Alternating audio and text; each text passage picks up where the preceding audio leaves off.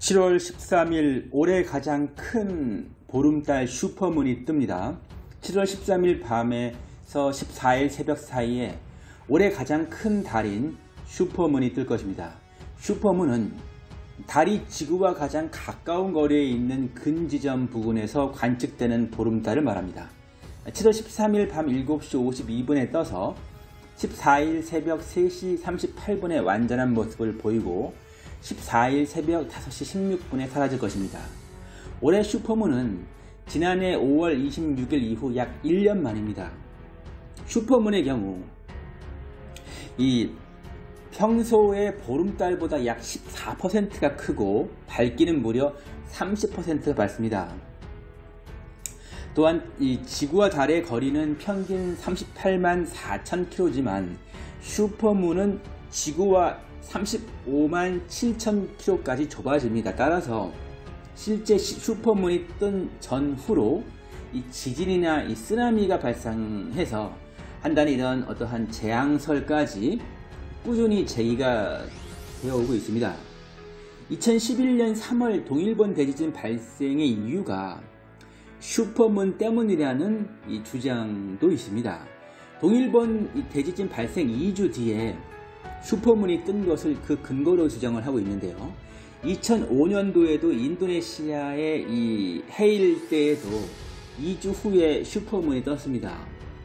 이 밖에 1974년 호주의 사이클론, 92, 1992년 미국의 이제 허리케인도 슈퍼문의 재앙 때문인 것으로 주장이 되고 있습니다.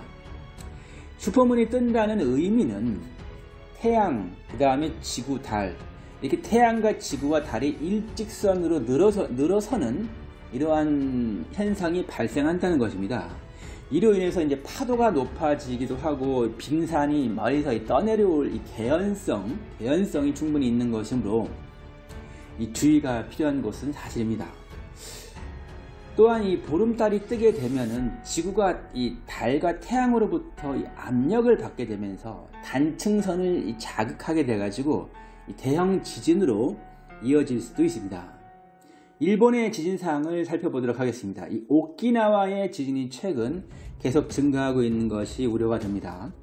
7월 8일 오키나와 본섬 북서에서 규모 5.0의 강진이 발생을 하였으며 7월 6일에는 규모 5.1의 강진이 발생하였고 6월 25일에는 규모 3.6 그리고 6월 24일에는 요나꾸니 섬 근처에서 규모 5.6의 강진이 발생을 하였습니다. 문제는 이 오키나와뿐만이 아니라 이시카와 그리고 교토에서도 올해는 이 비정상적인 이 많은 분발 지진들이 발생 중이라는 것이며 이 작년에 20배 이상입니다.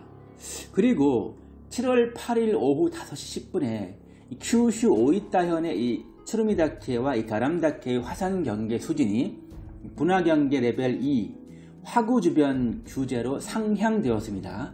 레벨 1은 활화산이므로 유의하라는 것이고 레벨 2가 이 화구 주변 규제로 라는 것으로 상향된 것입니다.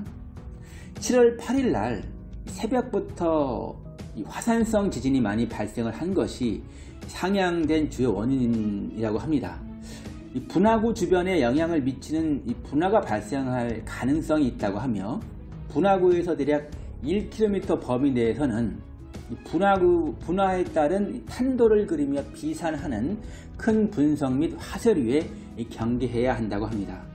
이 오이따현의 이 추르미다케와 이 가람다케의 경계 레벨이 올라간 것은 2016년 분화 경계 수준이 도입된 이후 처음 있는 일입니다.